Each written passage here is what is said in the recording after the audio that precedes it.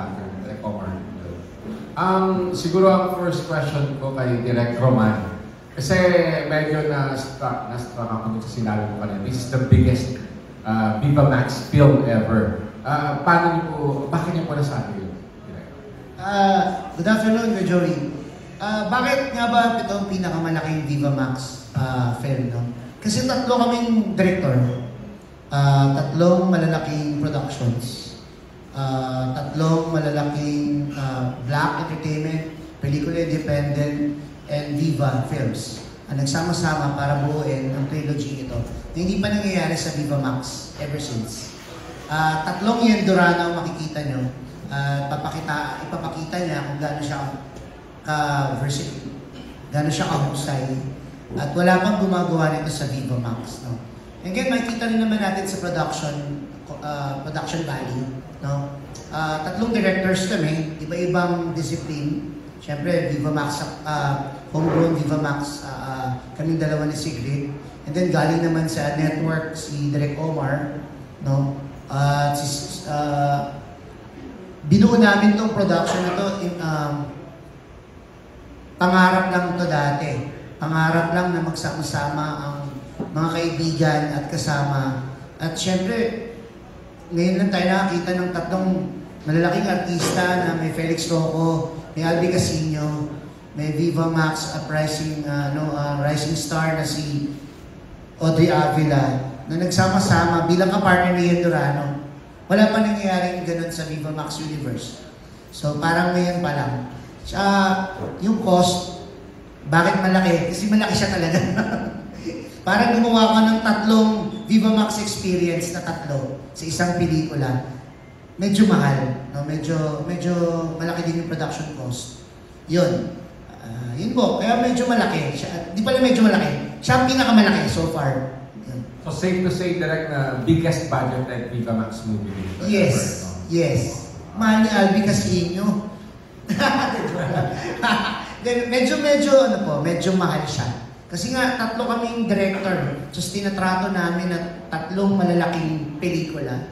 Ang lalaki ng locations, hindi naman kami nagtago lang sa isang kwarto o nagpumunta sa isang bahay para mag-shoot. Hindi. Tatlong malalaking locations ang ginamit ng, ng sa pelikula. Ah, medyo mahal. Medyo mahal yan. Okay. Uh, Direk, how did you come up with the title X? Okay. Sa iyo ba galing? X. Opo, ah, collaboration namin to ni Eric Castro, yung writer namin. Ah, Eric kasi siya. Nag-isip kami ng, ng, ng pwede naming gamitin na, ah, na E. No? Si Boss Val ah, Del Rosario ang nag-come up na direct gawin nating Pinoy. Gawin nating EKS. No? Masa. No? Para ma- ma-reach natin yung masa na X na ini-spell sa ini-spell natin as Filipino language. Hindi yung X kasi ang dami nang gumamit ng X. Si Eric Mati ginamit na yung X. So, pauso tayo, sabi ni Boss Pal. So, naniwala naman ako. Matagal na tong project na to. Sabi ko nga, pangarap tong project na to eh. Na makagawa ng trilogy sa Viva Max. Na natupad naman po ngayon. Yun. Okay, thank you. Thank you, Kuya Joey. Thank you. Thank you. Then, uh, next question ko kay uh, Ian.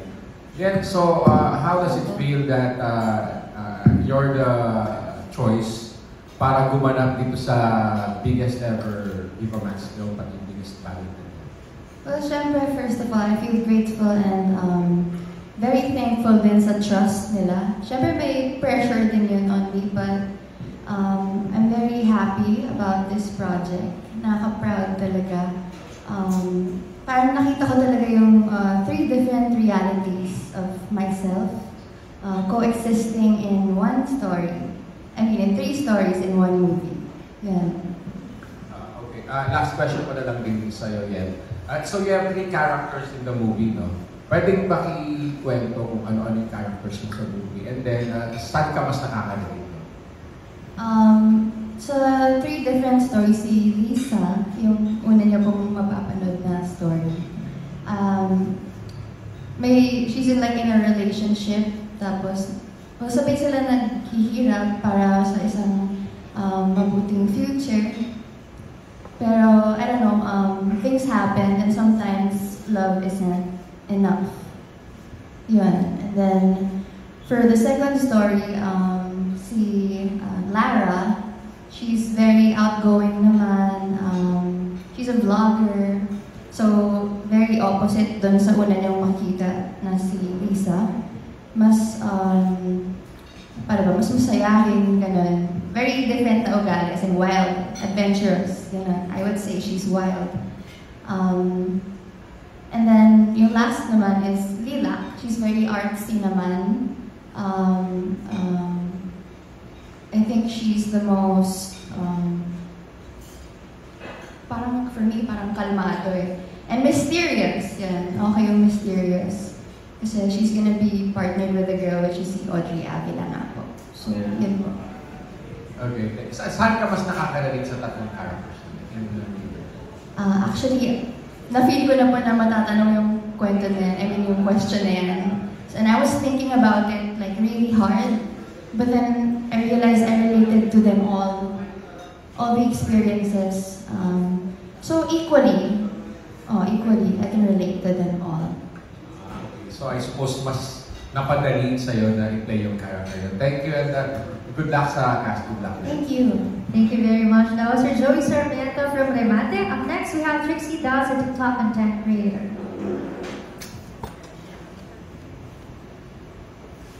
Good afternoon, everyone. So my first question is for the cast. Ano yung bago niyong na-discover sa sarili niyo while shooting X?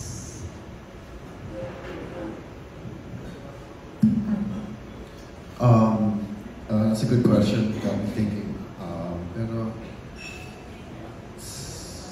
siguro I like I like to think that I learn a little bit of something from everything that I do. Eh. Pero siguro with X, um, it, it- difficult para sa akin yung X kasi um, yung location niya malayo para sa akin. Eh. And segue ako from segue ako at the time. So like I would be, you know what I mean? It, I would be driving and then one time naisip ko, it was like itutulog ko na lang ba to? Or I'll just drive to the location now and then just sleep in the location. So, yun na lang yung ginawa ko. Like, umuwi ako, naligo ako, tapos dumiretso na ako sa set. Tapos ako yung, hindi, na, nauna sa akin yung, I think, art department. Tapos nawawala pa ako. And then I guess, yeah, natutunan ko na kaya ko mag-persevere ng ganun. Just to go to work. Well, for me, playing three different roles, um, I learned a lot talaga. Uh, it's not na I learned it, pero it was already existing in me na mas na-emphasize lang na, oo nga pala, ganito nga pala ako. May side pala akong ganito. And it helped me accept all those sides of me, good and bad. So, I'm in my healing journey. Nandun ako sa stage ng life ko na yan. Na I just wanna heal and grow from everything I've been through. Um, this movie, parang eye-opener siya to me. Knowing na all three characters went through a lot. And all three characters is me. Ako lang yun. So, ibig sabihin, ang dami kong pinagdaanan. Sobrang dami kong pinagdaanan. And yun, I think I'm grateful na I, I take everything I go through as a learning experience. And from that to accept ourselves. Because we have to deal with ourselves every day. Pagising mo sa umaga, you only have yourself. So you have to um, be kind to yourself. That's what I learned the most, is to be kind to myself. Yun lang po. Ba? Ako, hindi naman sa bago kong natutunan, pero bago kong nalaman siguro na na-enjoy ko pala mag-shoot sa ano, monumento. Kasi ang tagal ko nung sa industriya, never pa ako nakapag-shoot doon, so na-experience ko na rin. Uh, my second question um, goes to the two directors and engineer Grace. Ano yung na-encounter niyo na challenges during the pre-production process ng movie? Hmm, challenge, masarap katrabaho ang ang production ni na independent at yung black film. Sobrang saya na lang katrabaho sa at excited akong ulit magtrabaho ulit sila. Ah, sabi nga kanina ni Direk, yung budget daw. So, um, actually, hindi na namin pinansin yung budget na yun eh, dahil alam kong magiging maganda yung kalalabasan. Yung palang sinabi niya yung title, sabi ko parang ano ah, parang naulit yata. Pero nung nakita ko talaga, kasi di ba sinabi mo direct yung X, nung kinwestiyon ko dun si Junior Louie, pero nung wala pala yung I dun sa X na yun, sa X, sabi ko medyo ano to, ah, sobrang kaabangan to. And yet, ah direct, sorry, napanood ko na kagabi. Sobrang ganda. And marami po kayong aabangan dito sa story. And yet, hindi ko talaga ini-expect na actually si Yen napakagaling dito. Kasi yun nga, tatlong mukha ng Yen makikita nyo dito. And hopefully, um, eto na naman, kumakatok na naman si Black Entertainment. Supportahan nyo rin po itong movie na to. Yun lang po. Um, tama yun, no? mahirap, mahirap yung pangarap na bumuo ng tatlong pelikula. Tapos, ipapalabas natin sa Viva Max ng isa lang. No?